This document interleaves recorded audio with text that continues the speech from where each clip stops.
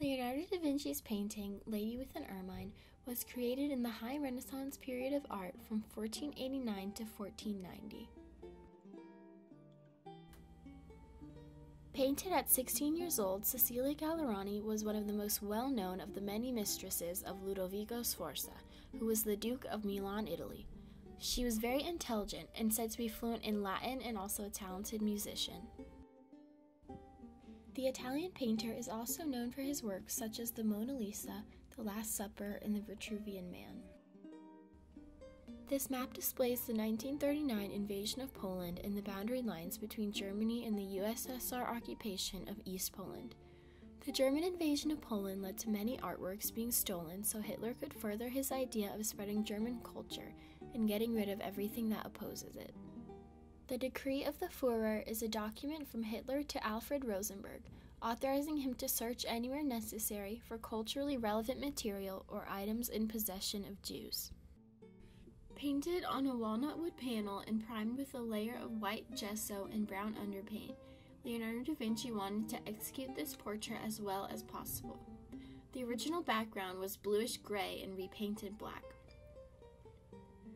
Cecilia's portrait shows Da Vinci's talent for precise and accurate painting. The little hairs on the ermine can be seen along with the sharp accuracy exhibited in Cecilia's hands and nails.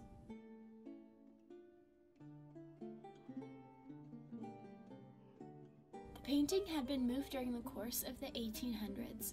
Princess Czartoryski rescued it from the invading Russian army in 1830, then sent it to Dresden and once again to the Czartoryski family in exile in Paris, France, before finally bringing it back to Krakow, Poland in 1882. The painting did not always look the way that it was when Hans and Hitler adored it. The first version was a simple portrait of Cecilia with no animal. Da Vinci's second change was to include a small gray ermine. In its final stage, the animal was transformed into a large white ermine. The changes reflect Da Vinci's artistic style of changing his mind often and not settling with the first draft of a work that he creates. The black color of Cecilia's necklace is said to be a potential reference to the power that Ludovico had in the city of Milan. Da Vinci's choice to use oil paint reflects the modern style that the painting held in their time period. Oil paint was only introduced to Italy a few decades before Cecilia's portrait. Purchased in 1798 by Prince Adam Jerzy Czartoryski of Poland, it remained in his family's collection. Nazis stole the painting and moved it to the Kaiser Frederick Museum in Berlin, now called the Bode Museum. Hans Frank, the Governor General of Poland, took such a liking to the painting that he got it moved to Krakow so he can hang it in his offices. Both Hitler and Hans Frank embody the Nazi theme of taking artwork for one's own pleasure, not for the cultural value and benefit of the masses it could hold.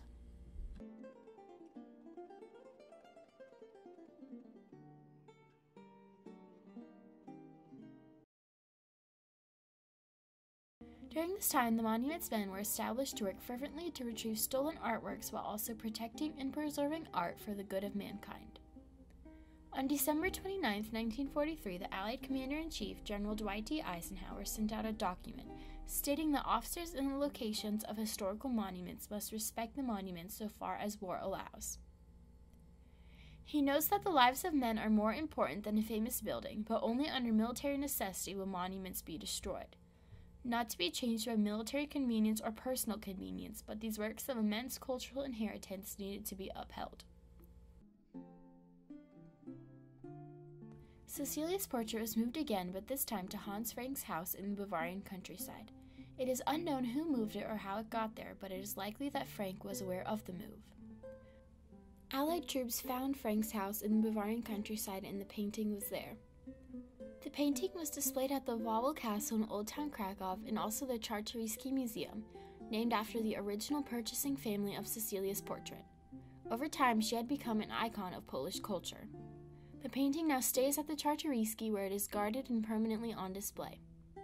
This painting of a young girl is important to the world because it tells of the perseverance of man to protect and honor artwork for the growth and knowledge of cultural history of its people, and to never forget the iconic life of Cecilia Gallerani, a woman whose portrait is now one of the most revered and respected works by artist Leonardo da Vinci.